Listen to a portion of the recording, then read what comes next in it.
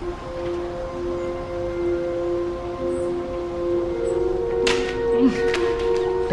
ん。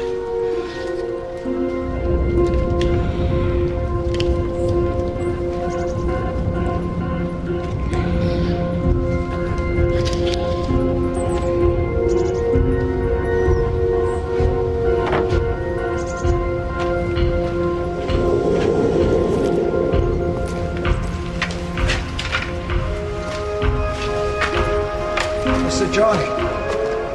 Sorry, I, uh, I couldn't get you on the phone.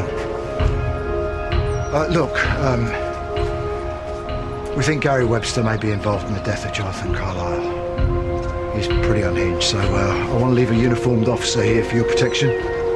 That's okay.